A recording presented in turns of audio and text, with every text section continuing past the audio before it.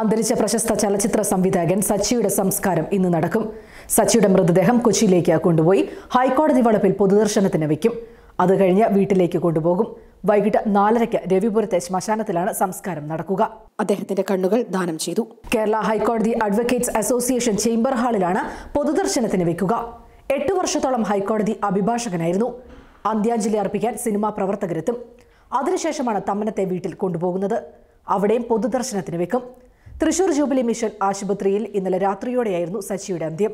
വടക്കാഞ്ചേരിയിലെ സ്വകാര്യ ആശുപത്രിയിൽ നടത്തിയ ഇടുപ്പ് മാറ്റിവെക്കൽ ശസ്ത്രക്രിയയ്ക്ക് ശേഷമുണ്ടായ ഹൃദയാഘാതത്തെ തുടർന്നാണ് അദ്ദേഹത്തിന്റെ നില ഗുരുതരമായത്. പിന്നീട് ജൂബിലി മിഷൻ ആശുപത്രിയിൽ പ്രവേശിപ്പിച്ചു.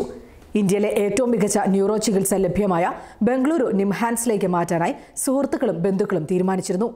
ഇതിന്റെ ഭാഗമായി നിംഹാൻസിലെ വിദഗ്ധ ന്യൂറോ ഡോക്ടർമാരും തൃശൂർ ജൂബിലി മിഷൻ ഹോസ്പിറ്റലിലെ ഡോക്ടർമാരും തമ്മിൽ വീഡിയോ കോൺഫറൻസ് നടത്തി. വീഡിയോ കോൺഫറൻസിൽ നിലവിൽ സച്ചിയുടെ നില തൃപ്തികരമല്ല എന്നാണ് നിംഹാൻസ് ഡോക്ടർമാർ വിലയിരുത്തിയത്.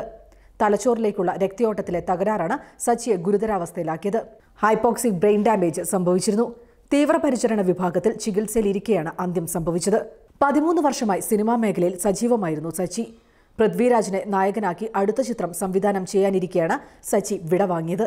സച്ചി എഴുതുന്ന ഏത് തിരക്കഥയിലും അഭിനയിക്കാൻ താൻ തയ്യാറാണെന്ന് പൃഥ്വിരാജ് പറഞ്ഞിരുന്നു. ഗുരുതരാവസ്ഥയിലായിരുന്ന സച്ചിയെ കാണാൻ പൃഥ്വിരാജ് ബിജു മേനോൻ സുരേഷ് കൃഷ്ണ രഞ്ജിത്ത് എന്നിവർ എത്തിയിരുന്നു. നിരവധി ചിത്രങ്ങൾക്ക് തിരക്കഥയൊരുക്കിയ സച്ചി രണ്ട് ചിത്രങ്ങൾ സംവിധാനം ചെയ്തിട്ടുണ്ട്. പൃഥ്വിരാജിനെ നായകനാക്കി രണ്ടായിരത്തി പതിനഞ്ചിൽ പുറത്തിറങ്ങിയ അനാർക്കലിയാണ് ആദ്യ ചിത്രം. പൃഥ്വിരാജ് ബിജു മേനോൻ കോംബോയിൽ ഒരുങ്ങിയ അയ്യപ്പനും കോച്ചിയും രണ്ടായിരത്തി ഇരുപതിലെ ബ്ലോക്ക് ബസ്റ്ററുകളിൽ ഒന്നായി മാറി. തൃശൂർ ജില്ലയിലെ കൊടുങ്ങല്ലൂരിലാണ് സച്ചിയുടെ ജനനം. കൊമേഴ്സിൽ ബിരുദവും എറണാകുളം ലോ കോളേജിൽ നിന്ന് നിയമബിരുദവും കരസ്ഥമാക്കിയ സച്ചി കേരള ഹൈക്കോടതിയിൽ എട്ട് വർഷത്തോളം പ്രാക്ടീസ് ചെയ്തിരുന്നു.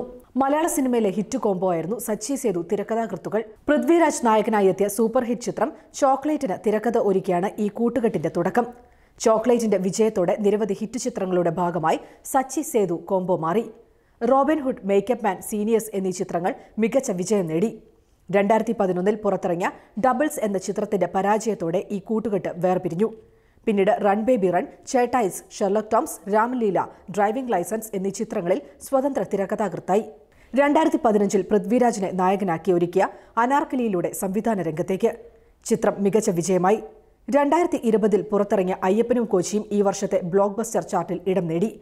ഈ രണ്ട് ചിത്രങ്ങൾക്ക് തിരക്കഥ ഒരുക്കിയതും സച്ചിയാണ്.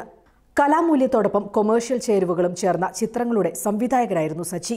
കൂടുതൽ വാർത്തകൾക്കായി ഞങ്ങളുടെ വെബ്സൈറ്റായ Malayalam dot Samayam dot com സന്ദർശിക്കുക. കൂടുതൽ വീഡിയോകൾക്കായി ഞങ്ങളുടെ യൂട്യൂബ് ചാനൽ സബ്സ്ക്രൈബ് ചെയ്യുക. ഇത് സമയം മലയാളം ഫ്രം ടൈംസ് ഇന്റർനെറ്റ്